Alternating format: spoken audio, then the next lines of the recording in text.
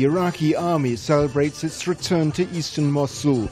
The song is triumphant but carries a significance beyond its words of victory. I haven't heard music for three years.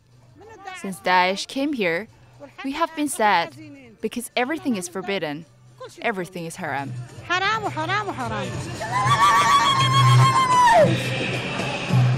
We're in Intisar, a district in the eastern suburbs of Mosul, recently liberated by the Iraqi army.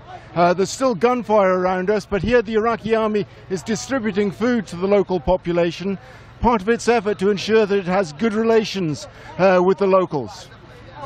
What they're providing is an essential service. There are no NGOs here, and none of the usual amenities are functioning. And it also helps soften the army's image.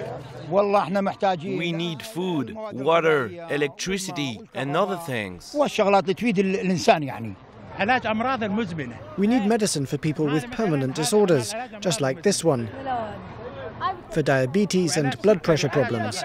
We don't have any. Before they can get food from the soldiers, the people here have to stand in line to be body checked. The police are taking no chances. We are worried that ISIS fighters might sneak through. We are trying to keep everybody safe. Fear permeates the air. Everyone is afraid. This is a conflict that will leave deep scars for generations to come.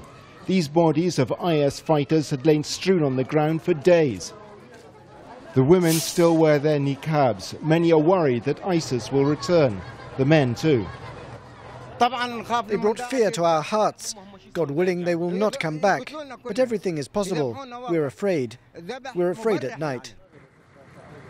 The main task for the army, of course, is to defeat ISIS in Mosul.